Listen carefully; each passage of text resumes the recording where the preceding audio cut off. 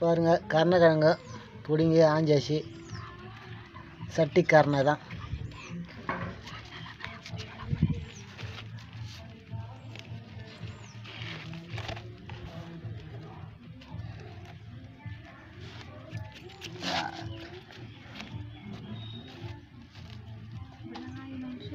பாருங்க எடுத்து ஒரு வெறும் வேறாக இருக்கணும் அது ஆயணும் அப்படியே அது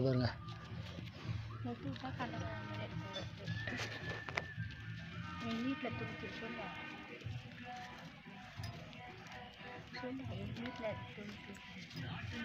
எங்கள் வீட்டில் போட்டிருந்தோம். செடி அதுக்கு முன்னே அதுக்கு முன்னே வீடியோ போட்டிருப்பாங்க. கருணக்கிழங்கு செடி. இப்போ பிடுங்கணும். இங்கே பாருங்கள் எப்படியும் ஒரு ஆறு ஏழு கிலோ கிழங்கு இருக்கும். ஒரு செடி தான் பாருங்கள்